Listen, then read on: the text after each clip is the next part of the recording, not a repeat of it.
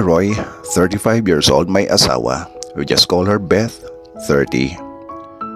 We are married 10 years ago at meron na rin kaming anak na nasa 10 years old na rin.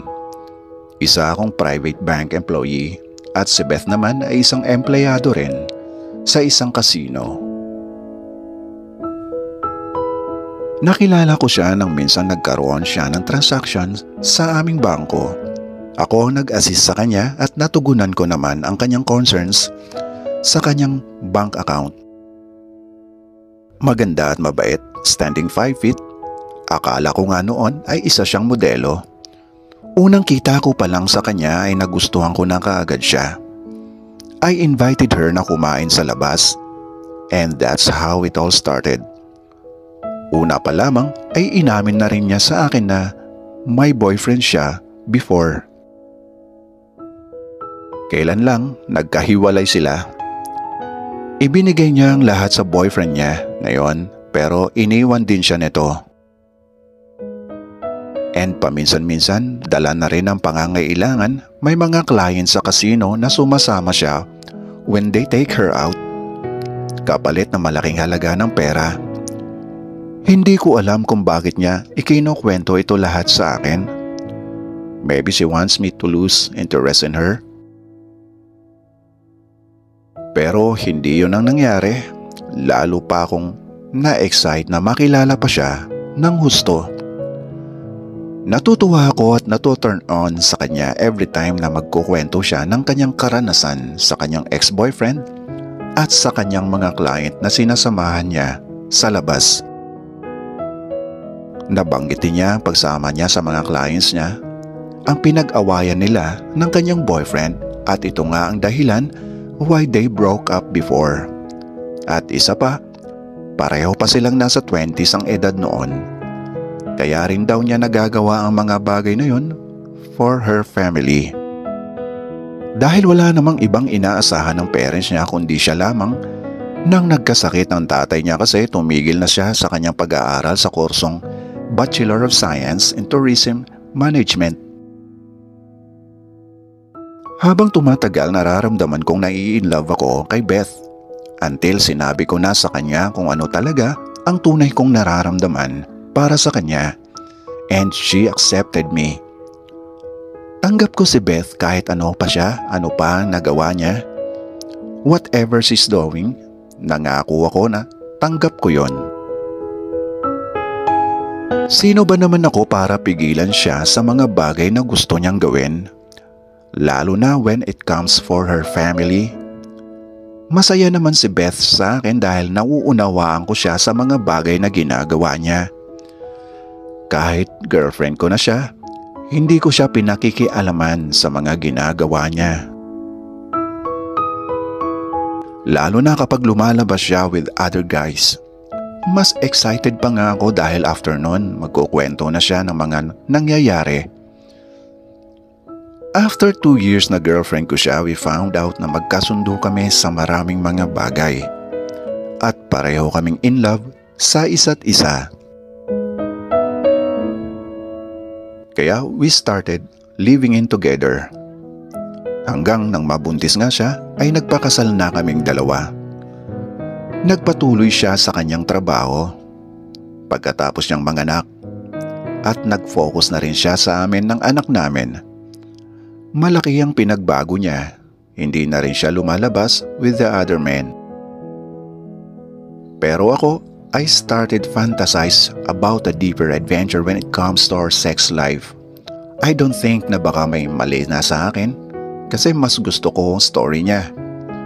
Before kami magdo. Until one day I asked her, Babe, what if itry natin in reality yung fantasy ko? Hindi ko ine-expect ang sagot ni Beth sa akin. Natuwa siya. How? Hanap tayo ng guy na makakasama natin na magjo-join sa atin. Yeah, I know pero I mean, paano at saan tayo kukuha? Medyo hindi na ako nakapagsalita paano at saan kami kukuha ng magiging third wheel. Sa gay bar? Ayokong pumasok doon baka mapagkamalan pa akong gay. sa FB, sa Twitter. Basta maghahanap na lang ba kami ng random men na pwede siya sa ganitong fantasy namin? Reluctant din ako sa ganitong idea pero gusto ko pa rin talaga matupad ang fantasy ko lalo na at wala namang problema kay Beth. Ang hirap hanggang isang dating site ang na-discover ko at dito nga nag-start akong gumawa ng account gamit ang name ng babae and profile pic ni wifey. Pinili ko ang pinakamaganda niyang shot para gawing DP sa ginawa kong dami account. Pero sinabi ko naman kay wifey ang lahat at mag-prepare na lang siya kung sakali makahanap kami ng magiging third wheel namin. And nag-set na rin kami ng sarili naming rules. I think meron kaming ginawang limang rules. After several weeks, nakatanggap ako ng mga messages from a random man Maraming guys ang nagkaroon ng interest kay wifey. At dahil ako may hawak ng dami account, nakakapamili ako ng guy na pwede sa amin ni Beth. Pero maraming mga guys ang gusto ay solohin lang si wifey. After ko sabihin na ganito ang gusto namin, umaayaw na sila. Hanggang isang guy ang nakasundo ko. Tawagin na lang natin siyang si Clyde. Clyde is good to talk to. According to him, isa siyang veterinarian and single daw siya from a nearby city. 30 years old na rin siya. At nang banggitin ko nga sa kanya kung ano ang gusto namin ni wifey, nagulat ako sa sagot niya. Wala naman daw problema sa kanya and he is willing to follow our rules. Dahil nagkaroon na rin daw siya ng experience joining married couple before. And kung gusto daw namin, may place siya sa Makati and he is making sure na very private ang lugar. After a deep conversations with Clyde tungkol sa fantasy namin, nag-umpisa na rin kaming magpalitan ng pictures at nagsimula na rin ng video calls. Mukhang okay naman pala si Clyde. Looks like a young Richard Gomez.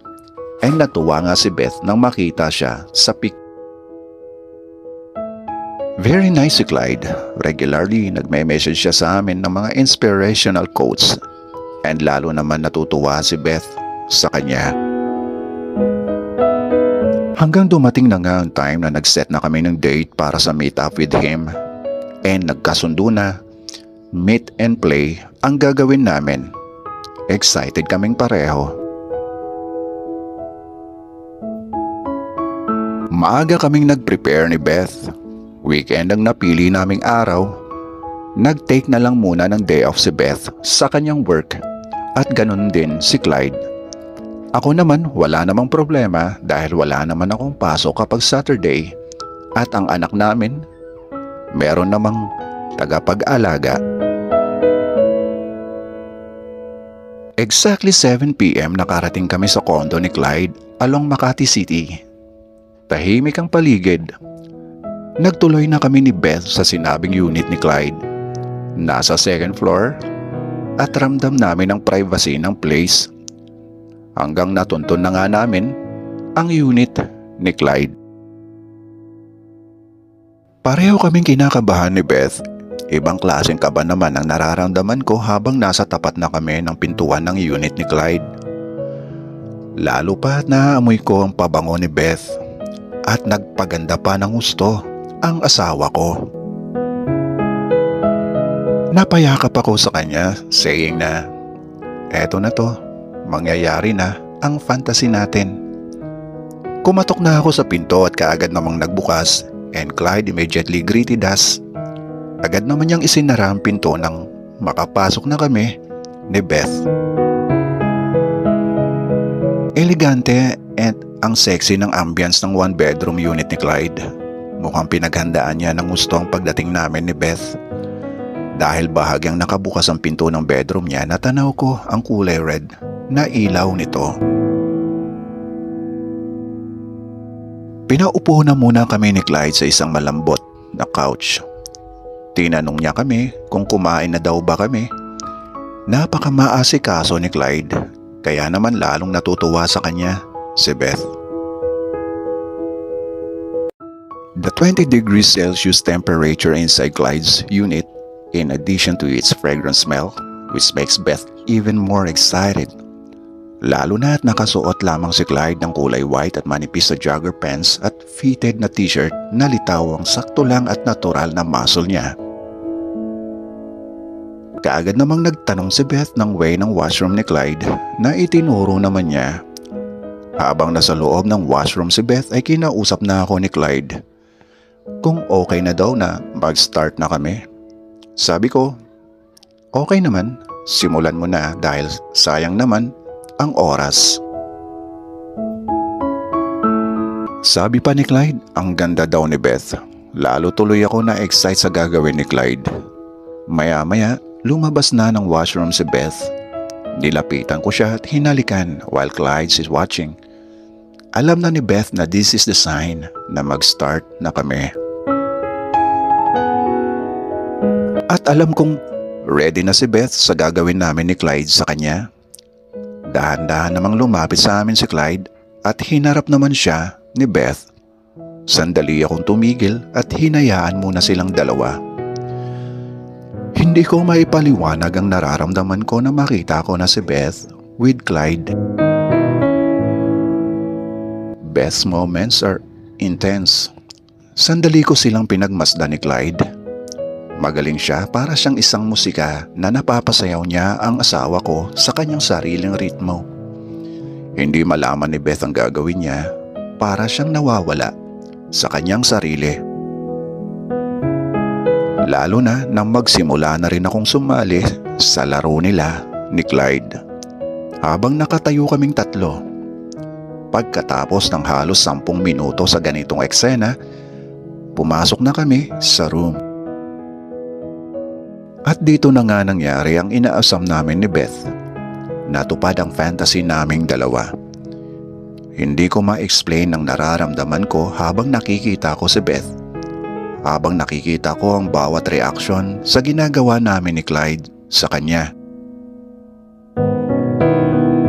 Tuloy-tuloy lang kami.